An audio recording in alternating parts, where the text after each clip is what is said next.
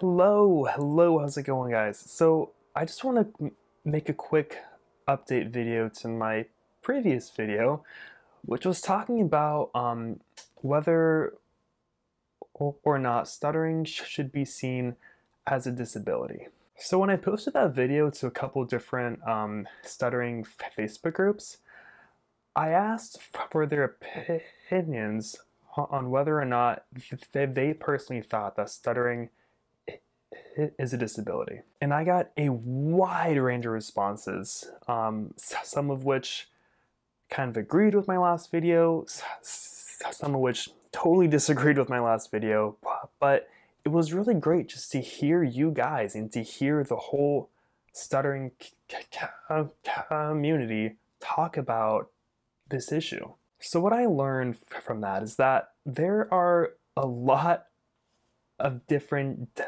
definitions of disability. There's no one straightforward definition of disability.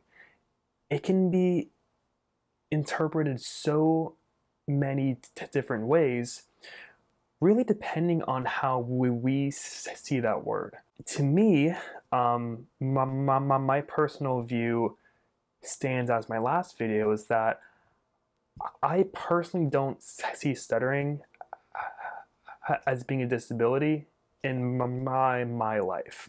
However, that's not to say that everyone else thinks that same way like me.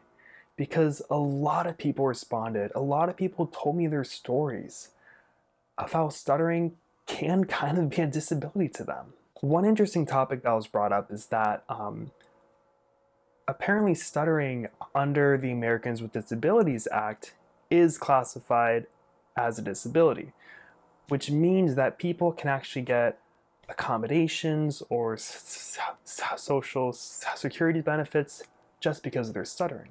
So that was a really great point that was brought up because to some people, you know, they may need those accommodations. For me personally, you know, I don't really need accommodations in my day to day life because I accept stuttering as part of who I am. And, you know, I, I just don't really need that extra help.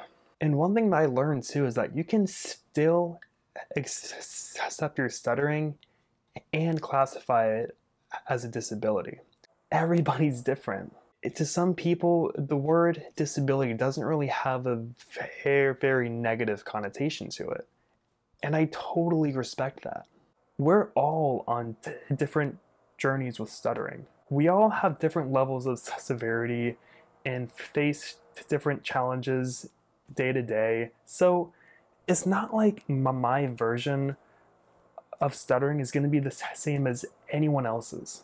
So to be honest, I was just really glad that I got those responses because it really gave me an opportunity to open up my eyes a little bit and hear all of you guys, to hear the whole stuttering community.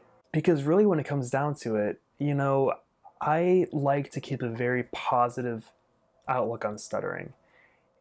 And I know that not everybody can experience that too. So instead of just trying to be an advocate for myself, I want to be an advocate for everybody who stutters. And I want to hear all of your voices your beautiful voices.